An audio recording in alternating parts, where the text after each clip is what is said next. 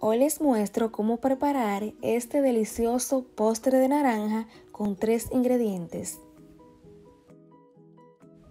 Estoy usando cinco naranjas, las cortamos de esta forma.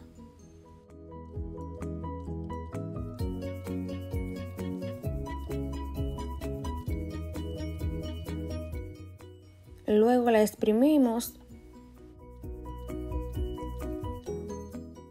Colocamos el jugo de las naranjas en un recipiente y agregamos azúcar al gusto. Yo estoy usando una cucharada, dos cucharadas de maicena y mezclamos bien hasta que la maicena se disuelva por completo.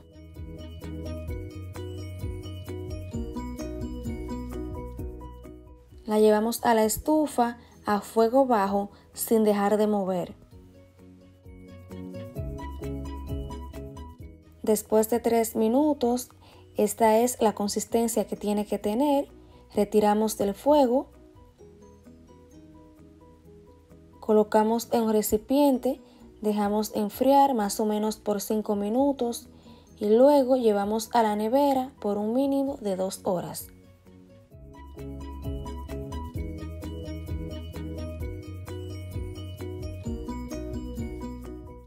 Así de fácil se prepara este delicioso postre de naranja. Si te gustó, suscríbete a mi canal, comparte el video con tus amigos, regálame un like y activa la campanita de notificaciones.